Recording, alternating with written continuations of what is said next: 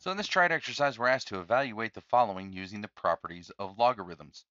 Uh, these two problems, it, it's really just a matter of, or this set of problems and the next set of Try It exercises, example and Try It exercises, just a matter of identifying what property we're applying, and then it that should tell us what the value is. So with log base 13 of 1, we have a property log base a of 1 equals 0. Now notice, it doesn't matter what a is. In this case, a equals 13.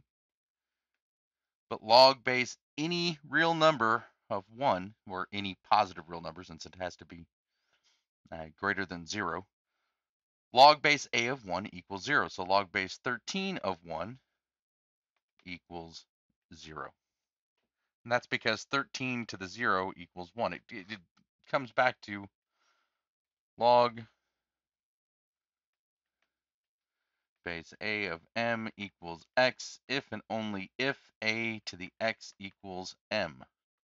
So by that that definition, that if and only if biconditional statement, uh, we know that a to the zero, any real number to the zero, any positive real number to the zero power of zero is going to equal one. So log base a of one equals zero, and therefore log base 13 of one equals zero. Now with log base 9 of 9, we're going to be looking at log base a of a equals 1. And again, that goes back to the definition. Log base a of m equals x if and only if a to the x equals n, eh, m.